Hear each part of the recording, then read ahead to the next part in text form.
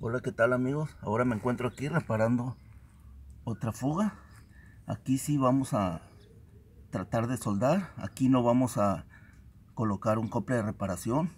Para esto ya cortamos el suministro de agua. Ya cerramos nuestra llave de paso que está en el medidor. Ahora, como esta tubería está visible y es un poco difícil de hacer el corte, aquí ya estoy haciendo corte con la hoja de la cegueta en esta forma porque aquí no puede entrar ningún cortatubo. Esta es la forma de hacer este corte. Y después vamos a sacarle el agua con esta pequeña manguerita porque aquí tiene agua y no vamos a poder despegar esta T.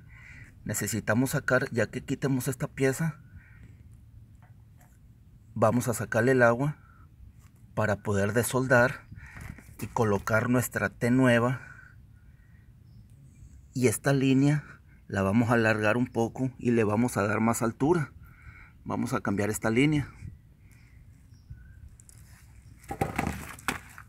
Y vamos a utilizar una T que es la que vamos a cambiar donde está la fuga. Y vamos a utilizar un cople liso el cual ya lo lijamos, necesitamos que corra en el tubo. Y si tiene el tope, hay que quitárselo por el lado de adentro con la hoja de la cegueta. El pequeño punto, el tope, para que nuestro cople corra libremente y poder hacer esta pequeña reparación. Voy a terminar de hacer ese corte y empezar a sacar el agua para desoldar. Observen cómo tiene agua el tubo. Ahora vamos a colocar esta pequeña manguerita para sacar el agua y poder soldar.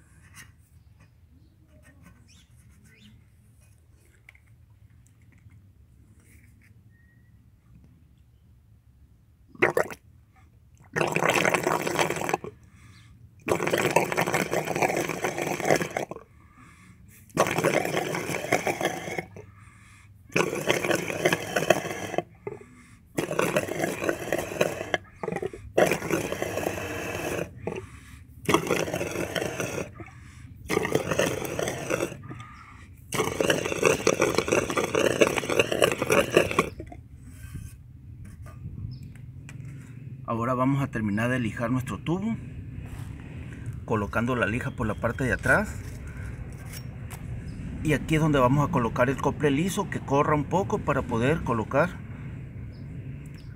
nuestro pequeño niple de cobre y con nuestra T. Ahora vamos a desoldar esta pieza y, y colocar la nueva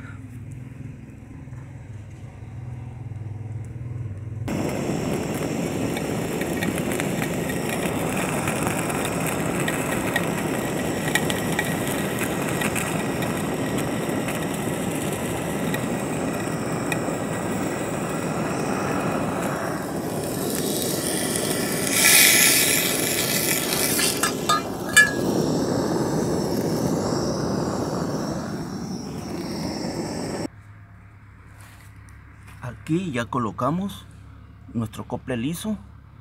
Primero colocamos el cople liso hasta arriba. Después colocamos nuestra T en el tubo de abajo.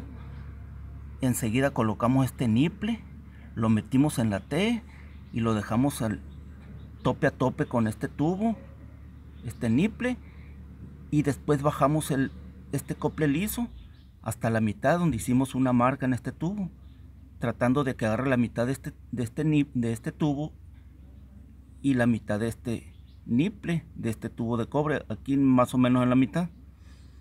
Ya lo bajé. Ahora voy a colocar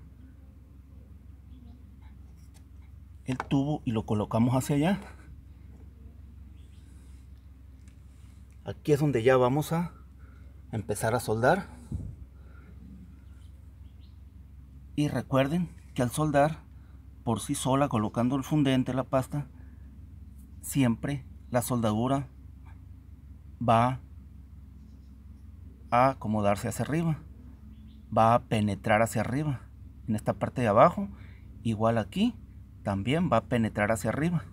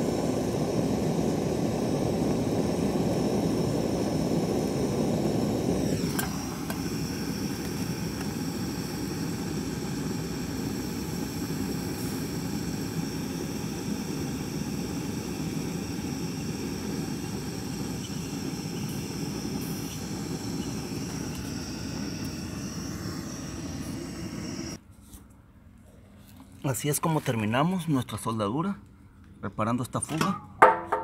Y recuerden que siempre hay que limpiar muy bien, ya que enfría los restos del fundente, de la pasta, para que no se sulfaten los tubos. Siempre hay que tratar de limpiarlos muy bien, porque si no van a tener un color verde en poco tiempo y se va a empezar a sulfatar y lo mejor es limpiar. Aquí ya colocamos nuestra llave. Y nos falta colocar unas abrazaderas para que logre tener una mayor rigidez rigidez este tuberío esta tubería perdón. Aquí le voy a colocar 3 4 porque es de uso frecuente. Así es como les muestro este nuevo compartimiento compañeros. Espero y les sea útil. Gracias